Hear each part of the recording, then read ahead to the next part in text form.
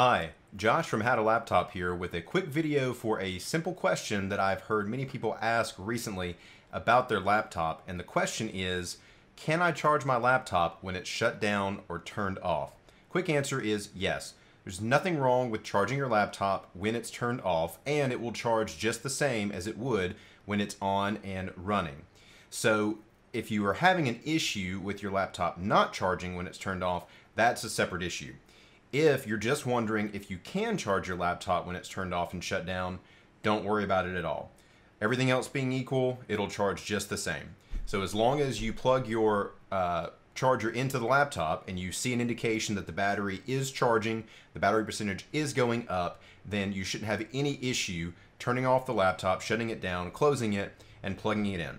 Now, some people may wonder uh, how to see if the laptop is charging if it's turned off. Now, most modern laptops will have a, an indicator, an LED indicator next to the charging port.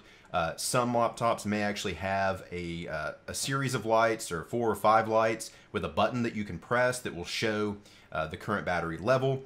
And depending on the model that you have, uh, however, something should happen when you plug the charger in to your laptop. So the most common thing is that you will have no lights on on your laptop, nothing visible showing. You plug your uh, laptop charger in and you will start to see a, a light turn on. Maybe that's a yellow light, maybe that's a blinking green light, maybe that's a white or blue colored light. Regardless, you should see something happen. And once the laptop is fully charged, that light may turn off. It may go from blinking green to solid green, or it may change to a different color.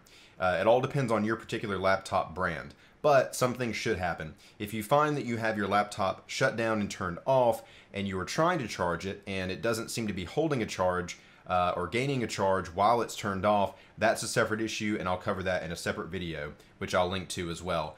But for now, that's all you should need to worry about when it comes to charging your laptop when it's turned off. Hopefully you found this information helpful. If you would, please consider liking and subscribing the channel. It would help me out a lot. If you have any other questions, be sure to include them in a comment below and I will try to answer them uh, or even make a video uh, specifically for that question as well in the future. That's all for today. Thank you everyone for joining me at How to Laptop.